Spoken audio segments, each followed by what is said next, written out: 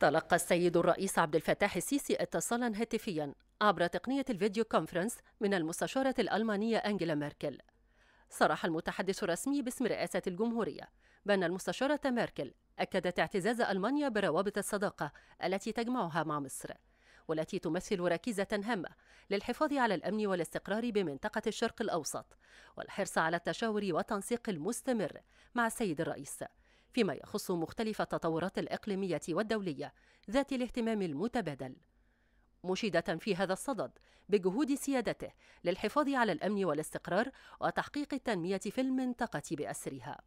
مؤكدة في هذا السياق التزام بلادها بدعم مسيرة العلاقات الثنائية المشتركة في مختلف المجالات ودعم جهود مصر التنموية من خلال خبرات الشركات الألمانية وزيادة الاستثمارات.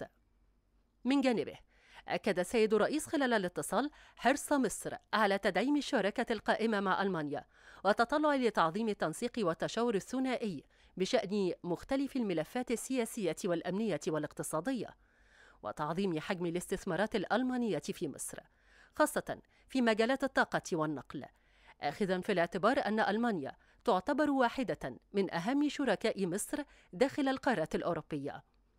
معربا سيادته في هذا الإطار عن التقدير للإسهام الكبير الذي قامت به المستشارة ميركل منذ توليها مقاليد الحكم في ألمانيا في تطوير العلاقات الثنائية بين البلدين.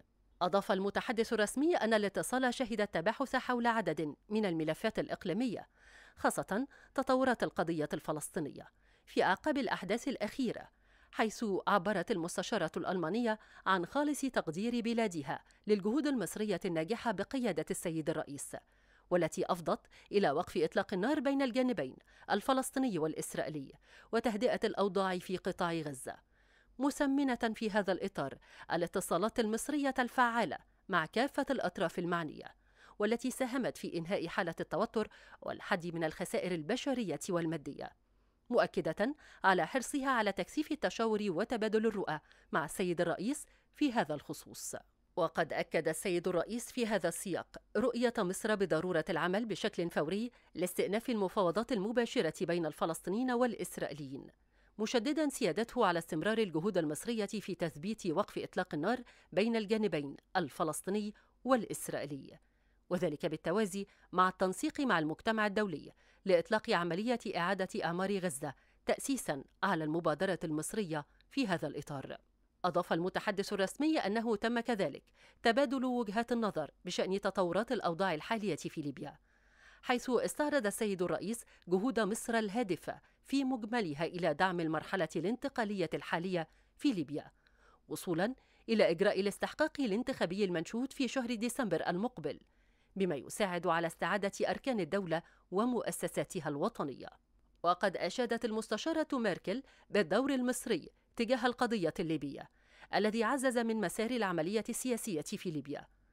وقد تم التوافق في هذا الإطار على أهمية خروج المرتزقة والميليشيات الأجنبية المسلحة من الأراضي الليبية. الأمر الذي سيعزز من سلاسة ونجاح الفترة الانتقالية.